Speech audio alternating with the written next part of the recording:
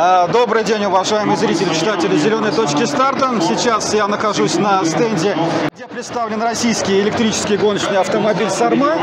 И сегодня мы в очередной раз беседуем а, с Андреем Леонтьевым, а, идейным вдохновителем создания этого автомобиля.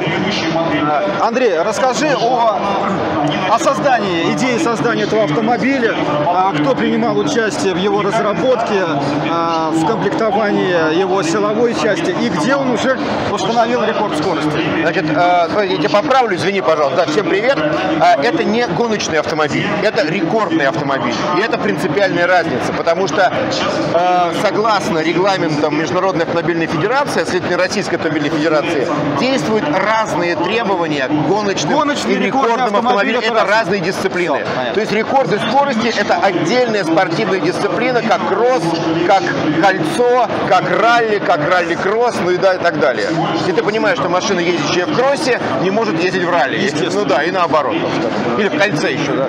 Вот, Уточняем, поэтому, да. это рекордный, Рекордный автомобиль, да. Значит, э, машина создана для установления рекорда скорости по регламентам ФИА на дистанциях 1 км с хода и 1 км с места. А, в чем смысл? А, пилот должен проехать дистанцию в 1 километр, где стоят финишные створы на выходе и входе, максимально разогнавшись сначала в одну сторону и потом в течение 60 минут в другую сторону. Подтвердив, Да, э, и среднеарифметическая является его показателем. То есть это средняя скорость на дистанции, показанная в обе стороны. Никого не интересует максимальная скорость. Это очень просто ее достичь. Тяжело удержать максимально возможную скорость двух попытках. И именно вот на отрезке километра Да. удержание этой скорости Да, все это и есть это, да, да, в обе стороны. Старт с ме- э, при рекорде с места то же самое. Километр проходится в обе стороны, но старт дается от первого створа. То есть это разгон на дистанции в километр. И опять же считается не скорость выхода, а считается средняя скорость на дистанции в обе стороны. То есть это регламент, которому уже больше 120 лет. И э, вот эти 120 лет работают эти правила. Э, сам фестиваль спортивные соревнования Дни скорости на льду Байкала э, появился, идея появилась в 2011 году, и машины впервые вышли на лед в 2012 году. И вот как бы меня все время голодало, что все рекорды, такие вот великие, так сказать, вот эти все боги, иконы, они все ездили на автомобилях специально построенных с нуля для достижения конкретной задачи. Э, И вы но- тоже решили с нуля вот сделать? мы решили 10 лет поработать, накопить опыт, и 11 сделать. год нашего фестиваля, как бы мы перешли из детства в отрочество, и вот этот переход из детства в отрочество мы отметили постройкой уже первого рекордного автомобиля в нашей стране с 1984 года. Ты можешь себе представить, что с 1984 года, 40 лет уже, да, э, никто не строил э, гоночные автомобили специальные, вернее, уже 80 лет никто не строил рекордные автомобили, да, с нуля. Зам- Заметьте, Да. уважаемые наши зрители, практически 40 лет мы не создавали специально с нуля гоночные автомо- Рекордные, рекорд- рекордные рекордные автомобили, да, автомобили. И вот э, наконец-то его сделали. Да, более того, я тебе скажу, что это уже в твой как бы огород не камень, а наоборот большое золотое яблоко.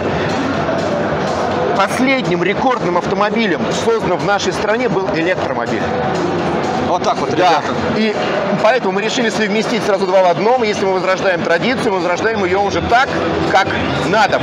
На все 200%. То есть мы сделали и рекордный автомобиль, и рекордный электроавтомобиль. Кстати, первый автомобиль, одни из первых с вами, по идее, это были 1899 год вообще человек преодолел э, впервые рубеж 100 км в час именно на электромобиле. Это был Жена Кантан, бельгиец э, Камиль Женаци. Это был 1899 год. Андрей, я бы тогда сказал, что на самом деле вот сейчас э, политика электромобилизации это просто возвращение на э, магистральный путь развития автопрома, который прервался по независимым обстоятельствам. Ну, прервался из-за просто от отсутствия технологий э, создания автономных батарей. Да. Сейчас такие технологии начинают появляться и Да, развиваться. да, да, да. И вот пример как раз нашей машины, тоже пример создания особой батареи, которая, наоборот, рассчитана на максимальную отдачу большого количества энергии. Да? И вот если мы говорим об конкретно этом проекте, то машина, во-первых, относится к особо малому классу. По классификации FIA это автомобиль до 500 килограммов. Это э, категория А, специально построенные автомобили. Группа 8 это электромобили 1. Это вот до 500 килограммов. Вот эта машина. Итак, этот автомобиль относится к категории А, специально созданные автомобили по классификации FIA. Э, группа 8 это электромобили э, 1. 1 это первая как бы ступенька, это машина до 500 килограммов. Ее вес 484 килограмма. То есть мы решили пойти как бы по ступенькам, с первой, самой низкой. Отработав э, все те, ну скажем так, для нас э, непонятные сказать, моменты, которые могли бы возникнуть, потому что это было уравнение со всеми неизвестными. Поэтому многие вещи здесь созданы с нуля. Э, серийных решений, готовых решений, мы взяли шины автомобильные, это Гесловет Нордфрост 200, э, серийная шина с хорошим держаком, и машина дальше строилась вокруг колеса, по сути, да. Двигатель тоже, это практически серийный мотор ГДМ, э, привод РУ, резидент Московского технополиса, но, маш... но двигатель с измененными характеристиками, то есть уже просто как бы с чип-тюнингом, так скажем, да, если простым языком говорить. Вот, максимальная мощность двигателя 30 киловатт. А батареи – это вообще отдельная тема. Батареи были созданы в Ельце. Кстати, отмечу, а, заметьте, двигатель российский. А, производство компания «Приватная техника», «Технополис Москва».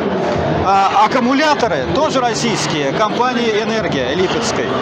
А, то есть мы имеем дело... Подожди, шины тоже сделаны в Калуге. Несмотря на иностранные названия, шины сделаны в Калуге, да. То есть мы имеем дело с абсолютно практически стопроцентно локализованной техникой, разработанная и созданная на российской базе. Да, она 100% локализована, потому что сама машина создавалась в лаборатории Петрокарт в Питере, строилась, достраивалась на базе Стаса Лыжного в Иркутске, э, в картинг Иркутск. Вот. То есть и креатив, и конструктив есть российский. То есть за, все. за всей страны. Фактически вся страна, да, вся страна участвовала в создании этой штуки. Машина проехала за время своего создания 6 тысяч километров, вот разбросанные точки, можете представить. Так вот, батареи, это вообще отдельная тема, они создавались специально под этот проект с задачей именно м, обеспечить максимально возможный потенциал, реализовать максимально возможный потенциал двигателя. Чтобы энергия, я поставил, я не специалист в этой области, я всю жизнь ездил на машинах с ДВСами, поэтому я поставил создателям задачу простую. Ребята, говорю, мне нужно, чтобы энергия из аккумуляторов выливалась как в унитаз, просто сразу. И все, они поняли, Андрей, мы все поняли. Все, и сделали прекрасно, выполнили работу свою идеально практически. Раз эта машина на рекорд скорости, какой рекорд скорости она поставила значит, на льду Байкала? Значит, у нее, э, ну, максимальная скорость, конечно, всех интересует, максимальная скорость перевалила за 140, но в зачет идет средняя скорость, как мы уже говорили. Средняя скорость составляет 135,835 тысячных километров в час. Средняя, подчеркиваю, скорость. Это на километре схода. А на километре с места средняя скорость дистанции в километр составила 91,2 километра в час. Вот. Так что, но повторюсь, эта машинка маленькая, весом до 500 килограммов. Причем без, э, без активной подвески. Да, машина не имеет подвески вообще. Пилотам пришлось очень несладко из-за этого, потому что лед только кажется ровным, мы же по природному льду ездим. Поэтому, конечно, машина иногда просто отрывалась даже всеми четырьмя колесами из-за отсутствия подвески. Но все ребята, пилоты, и Маша Леонтьева, и Стас Лыжин, все картингисты, все привыкшие к езде на бесподвесочных машинах. Поэтому, в общем, шинах относительно амортизировала. Поэтому, ну, что получилось, то получилось. Мы не могли поставить подвеску, иначе мы бы вылезли в другой класс уже по весу, просто физически. За 500 килограмм. Да, за 500 килограмм, да. Но следующая наша машина, мы уже научились, и понятно, что на следующий год, к следующему сезону, по крайней мере, к следующим 12 соревнованиям нашим Днем скорости на льду Байкала, мы хотим построить уже автомобиль полноприводный, с двумя двигателями синхронизированными, с, уже с подвеской. Машина будет выступать в классе от 500 до 1000 килограммов. Э, Она будет перебивать уже существующие рекорды, но мы надеемся перебьем, и мы рассчитываем, что в 200 она должна поехать. По регламенту техническому колеса должны быть закрыты, это просто требование. Поэтому, скорее всего, это будет просто кузов, как на многих рекордных автомобилях э, сигарообразных, э, с полностью съемный. То есть будет мыльница, когда пилот будет ложиться, его будет просто сверху накрывать э, кузовом. Столкнулись с, м, вернее, ну как сказать, столкнулись, это негативное такое к- подтексту слова есть, а мы встретили очень такую мощную, эмоционально э, разумную, творческо-креативную поддержку со стороны и тех ребят, которые делали батареи, и тех ребят, которые поставили привод, контроллер, то есть обеспечивали сборку. То есть, по сути, э, я не могу это перевести, знаешь, нельзя перевести энтузиазм, энергию Деньги. людей, добро в деньги, нельзя перевести. Поэтому это продукт, который создан действительно, вот как, наверное, это делали на заре, так сказать, э, автоспорта, да, это делалось на энтузиазме.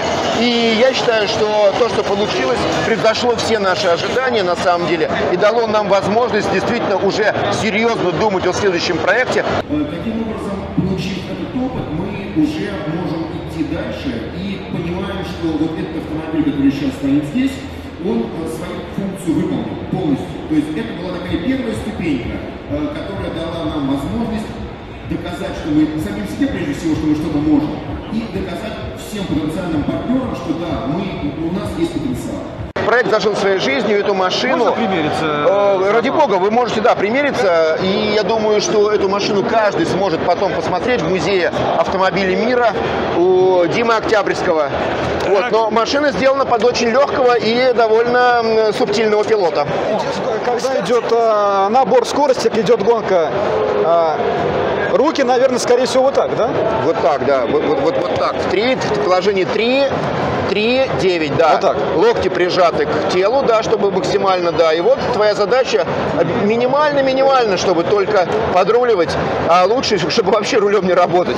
И вот, Вот. э, представьте себе, э, в таких, скажем так, условиях, э, довольно-таки На голом льду. на голом льду, это вам э, действительно не, не ровный асфальт, потому что, как правильно сказал Андрей, что это лед с волнами, потому что это озеро, и без подвески. Это довольно-таки героический, на самом Ну вот деле. Стас может вам рассказать подробнее, потому что именно он установил один из двух рекордов, поэтому Так, можете обратиться а к нему. насчет педали, тут э, они... Педаль тормоза и педаль акселератора. Так. То есть у меня... Машина управляется по картинговому. Левая нога на тормозе, правая нога, как в карте. Так. Левая нога тормоз, которым ты практически не пользуешься. И я его не чувствую, потому что я нажимаю, я не чувствую. А его там минимальный ход, там хода практически нет. Ага. Это ход для подтормаживания машины. Там же ну, нет необходимости, там нет поворотов, нет необходимости тормозить.